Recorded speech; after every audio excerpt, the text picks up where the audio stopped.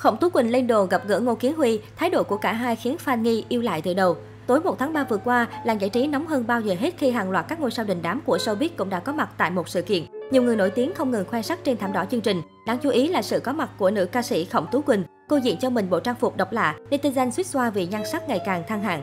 Trong đó, công chúa dâu Tây Khổng Tú Quỳnh sải bước trên thảm đỏ chiếc váy màu trắng được cắt xẻ ngang độc đáo. Từ xa, nữ ca sĩ đã thu hút mọi ánh nhìn vì nhan sắc không phải dạng vừa của mình. Không còn hình ảnh kẹo ngọt, giọng ca lạnh nay biến hóa không ngừng mỗi khi xuất hiện tại các sự kiện. Ngoài trang phục, phong cách make up trưởng thành giúp Khổng Tú Quỳnh nhanh chóng ghi được điểm trong mắt công chúng. Khán giả không ngừng khen ngợi vì cô ngày càng quyến rũ sắc sảo hơn. Đây cũng là một bước tiến lớn sau thời gian khá yên ắng trong làng giải trí.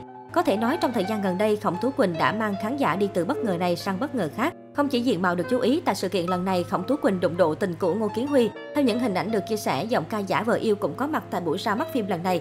Anh cùng nam diễn viên Lê Dương Bảo Lâm thoải mái cùng nhau tạo dáng chụp ảnh và giao lưu với khán giả.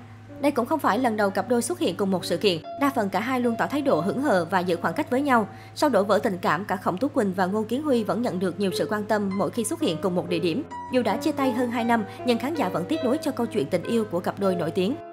Khổng Tú Quỳnh là ca sĩ gắn liền với thế hệ 8X 9X bởi hàng loạt ca khúc như Nhớ lắm, Lạnh, Xe buýt hai tầng, Tiệm bánh dâu tây, Khổng Tú Quỳnh được người hâm mộ ưu ái gọi là công chúa nhạc tiên vì phong cách ngọt ngào năng động thời điểm mới vào nghề. Thời điểm năm 2018, Khổng Tú Quỳnh kết thúc cuộc tình gần một thập kỷ với Ngô Kiến Huy, khiến nhiều khán giả tiếc nuối. Cũng từ sau biến cố tình cảm này, cô bé dâu Tây ít xuất hiện trong các sự kiện và có thời gian dài im ắng trên thị trường nhạc Việt. Cho đến những năm gần đây, Khổng Tú Quỳnh mới trở lại đường đua, tham dự các chương trình, đóng phim nhiều hơn, nhưng hiệu ứng không còn mạnh mẽ như trước. Ở tuổi 31, Khổng Tú Quỳnh vẫn giữ được vẻ ngoài xinh đẹp và biến hóa 180 độ so với ngày trước.